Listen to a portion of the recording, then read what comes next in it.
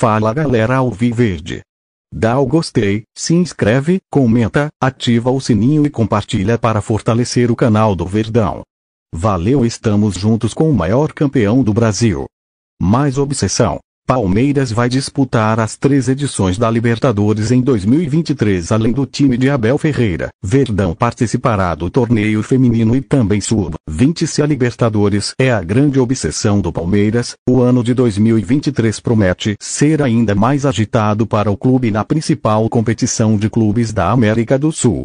Além do time de Abel Ferreira, que estará na luta pelo tetracampeonato, o Verdão também vai disputar os torneios Sub-20 feminino na próxima temporada.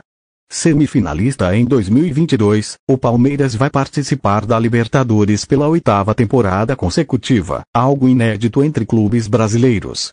Campeão em 1999, 2020 e 2021, o time alviverde se consolidou como referência do país no torneio por causa das campanhas de destaque dos últimos anos. As últimas participações do Palmeiras na Libertadores 2022, semifinal 2021, campeão 2020, campeão 2019, quartas de final 2018, semifinal 2017 Oitavas de final 2016. Fase de grupos do time feminino do Palmeiras vai jogar a Libertadores da categoria, buscando fazer mais história. Nesta temporada, o Verdão venceu seu primeiro título na competição, com direito à goleada de 4 a 1 contra o Boca Juniors na decisão, no Equador. O troféu garantiu o clube automaticamente na edição de 2023. A Libertadores Feminina tem previsão para ser disputada no segundo semestre. O Sub-20 palmeirense garantiu sua vaga no torneio sul-americano depois de vencer a Copa do Brasil. Em novembro.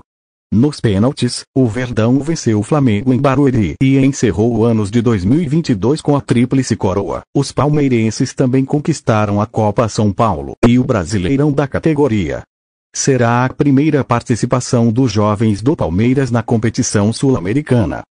Obsessão, né? A gente forma eles com todos os cantos da nossa torcida, com toda a forma da cultura palmeirense.